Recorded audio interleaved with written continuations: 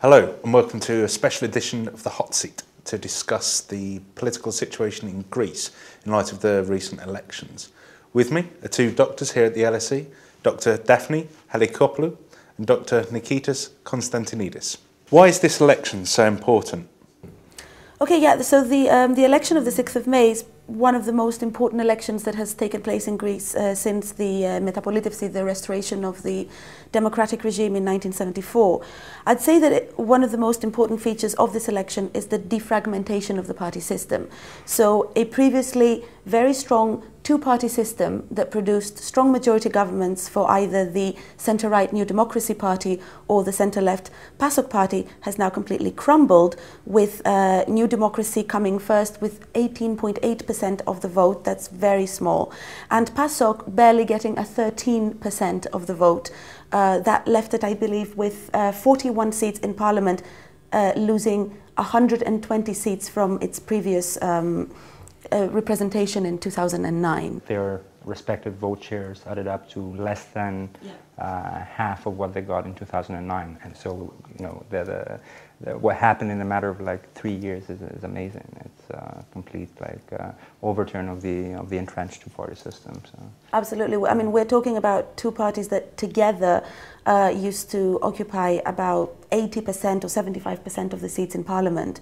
Uh, and together they concentrated, again, over 70% of the votes cast, and now they barely made, uh, as you said, 35. So it's, it's quite a groundbreaking result. So, and, yeah, another feature of, of the election that is groundbreaking is the support for anti-establishment politics. So the election witnessed the, both the rise of the far left, so for example, Syriza, the coalition of the radical left, got, uh, I believe, uh, 16 point uh, 7 or 8% of the votes cast. But also we saw the uh, Independent Greeks, a radical right party offshoot of New Democracy with 10% of the vote and 33 seats.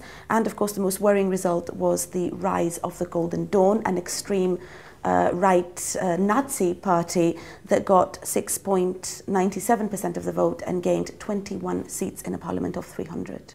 Um, I, I, guess what I would add to this is, I mean, I perfectly I agree 100% with Daphne and what she said. Um, it's the actual party labels are not as clear cut, uh, cut as we uh, we would think they are. For example, Syriza is, I mean, of course, some people, yeah, uh, have been uh, sort of uh, termed as a sort of radical leftist party. Um, but at the end of the day, it's, so, it's a pre-electoral coalition party. It's a coalition of left-wing movements. So you have there, you it's a, a compilation of, uh, of uh, green ecologists, uh, we have uh, communists in there, you have social democrats, you have like a number of different sort of uh, factions that sort of came together. And, and, and the funny thing about this party is that I'm sure they did not really expect to, to reach um, to get such a high vote share. So they were not basically ready to govern, right? They were not. So, so the question is, how will they be able to transform themselves from um, from a protest sort of opposition party uh, to a party that is ready to take part in, in government. So the, dip, the deep question of, the, of these elections, is a, it's, a, it's, a, it's a very simple question. It's a question of governability. So how will the, the country be governed from now on, given that the sort of um, the two-party system has collapsed? And and of course, some people will jump to you know it's easy to sort of uh, to get to to, to um, reach like a number of different interpretations of of uh, these elections there are so many different contradictions that sort of uh, were evident. So, for example, uh, a majority of people voted for parties that were against the memorandum, right? So these sort of very uh, strict fiscal conditionality imposed from from uh, other European capitals. Uh, but then again, uh, a majority of people voted in favor of the bailout agreement, right? So people, we need the money, right? And people did recognize that fact. And plus, a number of people, and a pretty big majority at that, were uh, voted in favor of, of, staying in the eurozone. So there's a number of different contradiction, contradictory sort of messages that came out of these elections. How does this election differ from past elections in Greece? I would say that what characterized another feature of this election, what characterized this election is this cleavage, as you were mentioning earlier, between the pro Memorandum of Understanding forces and the anti Memorandum of Understanding forces.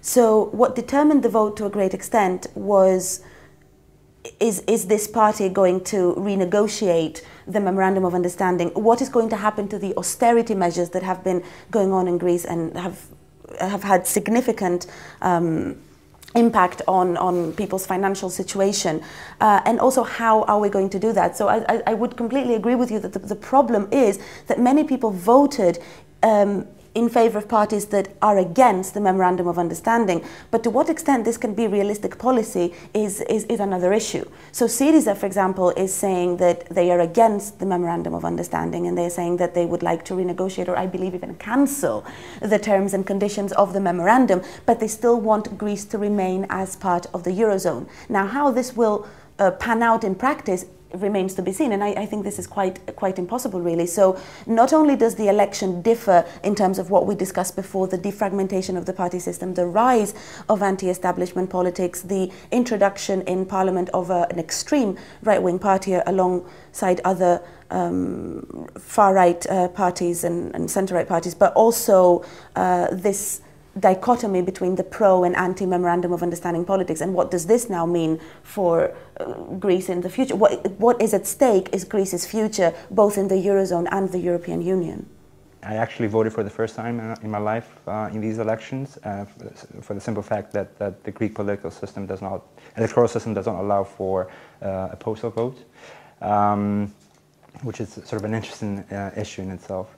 Um, and of course, I, I, did sense that there was going to be sort of, you know, a big sort of electoral shift. And, and, and the stakes of these elections were extremely high, uh, obviously.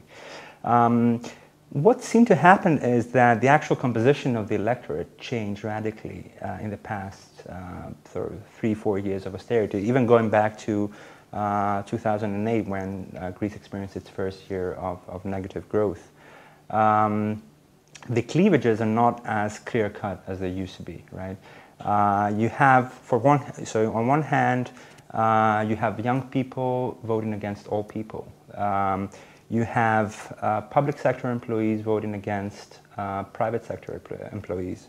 Uh, you have uh, salaried voters against property voters.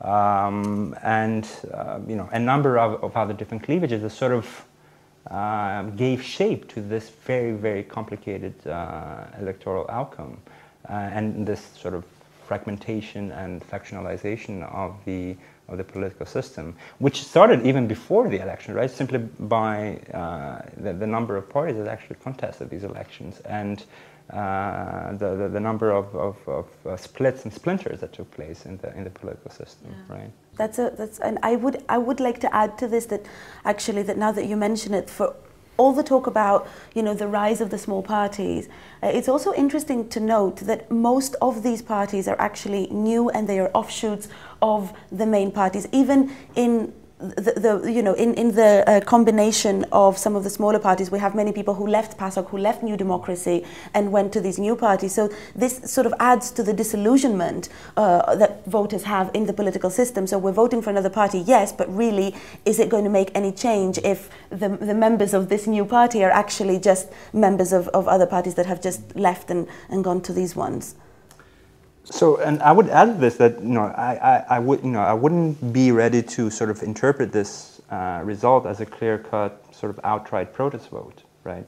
Uh, the picture is much more complicated than that, and and uh, the fact that there are so many different parties uh, made their vote, the voters' choice much uh, harder, much more complicated. People were very confused. I mean, they really they didn't know uh, what party actually um, would best sort of protect uh, their interests or represent their their um, their ideology. Um, so in that sense, I, I, Daphne uses the word disillusionment. I would use the word frustration. Right, there was deep, uh, deep-rooted frustration uh, this time around, and it was very evident by you know it was very evident in the outcome of the vote. It was also evident beforehand, right, with a number of, uh, with, with, the, with the uh, rise in social unrest, civil disobedience, uh, all these different sort of facets of um, sort of kind of uh, a political system that is sort of misaligned with public opinion and with uh, how people experience their, the, the, the, hardships of their daily lives. Absolutely, and to, to, this I would sorry I would add as well that this is why populism is another feature of the election. This is why populism was so successful. Uh, something interesting we were saying talking about earlier was that actually certain uh, non-populist, perhaps uh, liberal parties that run for election didn't even make the three percent threshold and remained out of parliament. So we did see many populist parties in parliament and many non-populist parties not even gaining political representation at all. And, and the, under, the, other interesting fact about this is that the sum total of parties that stayed out of parliament, right, that did not make it over past the, the 3% uh, threshold, uh, added up to more than the, the, the, sum total of the first party of, of New Democracy. So it was, I think, uh, 20 uh, to 19%. Um, so, you know, some others would argue that there's a deep sort of uh, democratic deficit mm-hmm. that's sort of uh, ingrained in these elections. Right? Um, has serious politics been replaced by opportunism, populism and opposition? This is my yeah. Uh, the word populism has been you know, floated around like quite a bit, and this is my interpretation of what populism means at this point in time. Um, most of the debate that took place in the elections took place over issues that, such as, let's say, immigration, right, debt restructuring, uh, unemployment, right. So these are real sort of uh, issues of, of, of uh, daily life, right. But these are issues that Greece alone cannot address, right, as a, as a sovereign nation state. Um, I mean, you know, Dani Rodrik talks a lot about this sort of trilemma, right, between uh, global financial integration, democracy, and national sovereignty. Something has to give. You cannot have all three together at the same time. Um, so my interpretation of populism in this case is it's, it's a sort of deep sort of sort of frustration over how to deal with such issues where basically you need others to help, right? You need the help of, of your uh, European partners. Uh, you need to, to sort of reach some common agreements uh, at the sort of supranational level. And if you look at the platforms, right, the platforms of most of these so-called populist parties, um, they make a lot of dubious sort of assumptions about you know, the outcomes of some sort of supranational uh, negotiations that would take place. But of course, you cannot really uh, base or your, your entire sort of uh, political campaign on what other countries will do in response to, uh, to the vote in this case. Right? In my opinion, uh, the Greek electorate is faced by a catch-22 situation um, they can either vote for one of the two main parties that are mainstream and are pro-European and have respectable ideologies on the one hand, but have been so closely associated with clientelism, corruption and favoritism that in effect they've rendered themselves unelectable. Or they could vote for one of the radical parties that may not be as closely associated with clientelism and favoritism, but are so radical and extreme in some cases that could actually be playing dangerous games with Greece's future, both in the Eurozone and the European Union. And unfortunately, I think it is this catch-22 that defines the Greek choice at the moment. And, you know, we're, having new elections again in, I believe it's been announced, this June 17th. And uh, the practice of this uh, remains to, to be seen then. Well, just to play devil's advocate, though, uh, one could also argue that it's the the the, uh, the, the extreme sort of radical parties that were the more responsible in these in this election because in this election simply because their their their platform and their agenda was purely based on unilateral kind of policies, right? So, uh, exiting the euro, uh, exiting the uh, the European Union as a whole, right? So that's what both the Golden Zone Party um, advocated as well as the, uh, the Communist Party. So in that sense, you know, the two extremes of the political spectrum came, you know, were joined up in, in that sense. So whereas the mainstream sort of pro-European parties are still not uh, entirely sure, you know, what the way forward is. My sort of, I guess, uh, short-term prediction about, especially these next elections, is we are going to have a government. I mean, uh, the thing is, we, we the, this elections took place um, it had been it was the first uh, round of elections that took place uh, uh, once the austerity measures started uh, coming into effect. So parties needed to know where they stand in terms of their electoral support. But now, of course, the, the, the specter of ungovernability is going to force them into some uh, sort of coalition, some form of coalition or another. But this type of coalition is going to be very uneasy, right? And uh, I am pessimistic in the sense that they will not have a strong enough mandate and they will not be able to converge to um, a very sort of compact, sort of common platform. Um, we're still going through a period of modeling through. And modeling through is taking place both at the domestic uh, level in Greece, but also at the European level in terms of like European-wide measures that could sort of change the rules of the game and restabilize the political system in Greece. Any last but, predictions for the future? Yeah, sure. But um, the latest uh, polls after the, the election on the 6th of May indicate that Syriza will be the first party with approximately, I believe, 27.7% of, of the vote.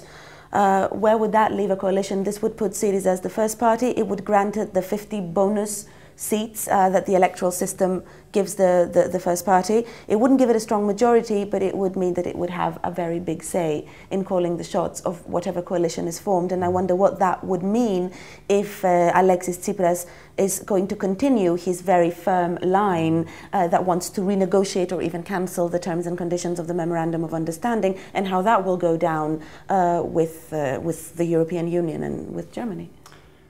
I think I've already seen signs of uh, Tsipras and his party actually softening their rhetoric on, on what they want to do with the memorandum and on their what kind of stance they want to assume in their in uh, the sort of uh, European level negotiations.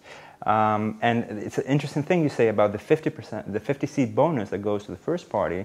It actually goes to uh, any type of movement that is actually that is been has been recognized as a as a party, right? Uh, whereas Syriza at this point in time is considered a coalition. So I'm not 100% yeah, sure that they will actually go ahead and sort of declare themselves as a party because that will also sort of um, you know uh, destabilize the internal sort of balance, right, and the internal configuration of powers within their sort of coalition of different sort of very heterogeneous kind of movements. So. Um, I'm, so, I'm hopeful that even if Syriza takes part in a future uh, coalition government, they uh, will not sort of, uh, you know, uh, try resort to extremes and implement their former more sort of radical rhetoric. I mean, it's, it, it, they're undergoing a very sort of gradual process of transformation from a protest party to a party, a responsible party of government. And, and, hopefully, can I just add one small point to this, which is that, you know, hopefully they will be willing to enter a coalition the second time around because the very reason that a coalition government wasn't formed this time is because Syriza completely, utterly, totally rejected to join any government that consists of any mm. pro memorandum of understanding uh, political force or party. So the, the, the question to which extent will he, will Alexis Tsipras now be willing to join such a coalition, I think is, remains to be seen. Thank you very much. You're off the hot seat.